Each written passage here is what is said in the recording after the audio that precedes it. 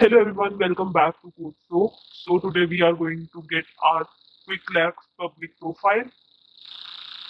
So firstly we will search Quick Labs over Google. Then we are going to make our Quick Labs account and sign it to the same. So let me just create my account first. Uh, I am putting in my first name, then my last name, email. In here,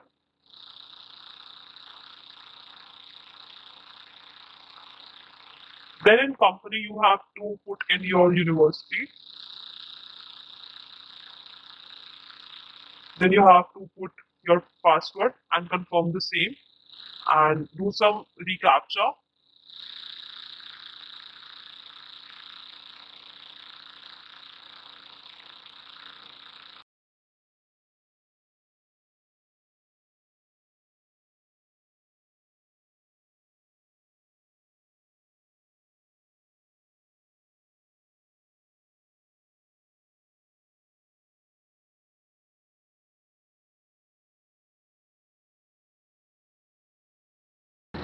okay now click on create account.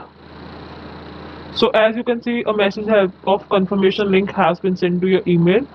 So just get back to your gmail account and verify that.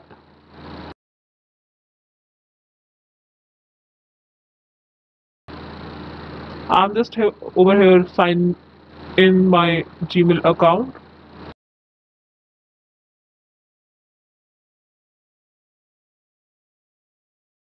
you would find one mail welcome to with the subject welcome to Qwiklabs and you have to click on confirm email address and this will verify your gmail.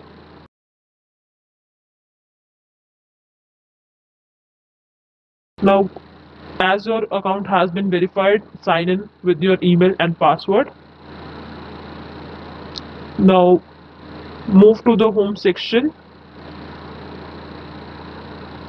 now I'm moving to the learning section where I'll find that I have no learning yet. These are all the Qwiklabs. Now we are starting our first quick lab in which we have to not complete the same but we have to stay in there for five minutes.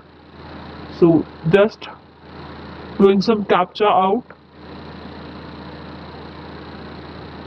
Okay, so the quick lab has started. We have to wait for 5 minutes to complete this particular quick lab.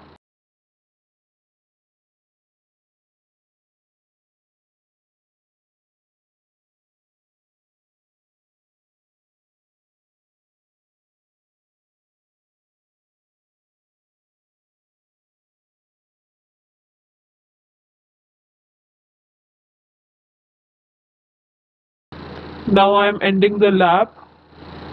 I had submitted the, my lab and its feedback.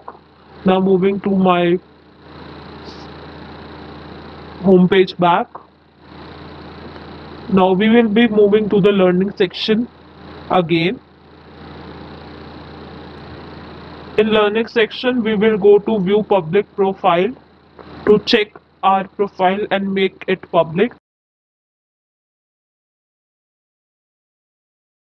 So i'm clicking on make profile public so that others can also see our profile. So this is our profile. So this is the url which we need like public profile url to access our profile. And you can also go to profile section to get this url out.